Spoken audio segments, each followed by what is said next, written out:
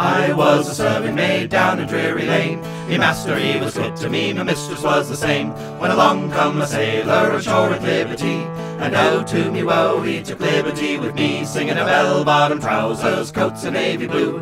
Let him climb the rigging like his daddy used to do. It was at a ball I met him, he asked me for a dance. I knew he was a sailor by the way he wore his pants. His shoes was neatly polished and his hair was neatly combed. After the ball was over, he asked to see me home, singing a bell-bottom trousers, coats of navy blue. Let him climb the rigging like his daddy used to do. He asked me for a handkerchief to tie around his head. He asked me for a candle to light his way to bed.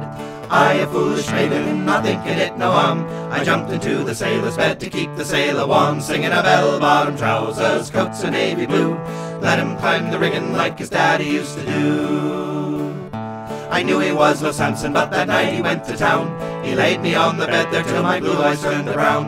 And early in the morning, before the break of day, a twelve pound note he gave me and some warning words to say, singing a bell-bottom trousers, coats of navy blue. Let him climb the rigging like his daddy used to do.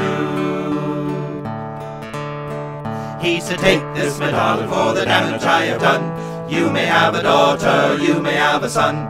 If you have a daughter, bounce her on your knee. And if you have a son, send the bastard out to sea, singing a bell-bottom trousers, coats of navy blue. Let him climb the rigging like his daddy used to do.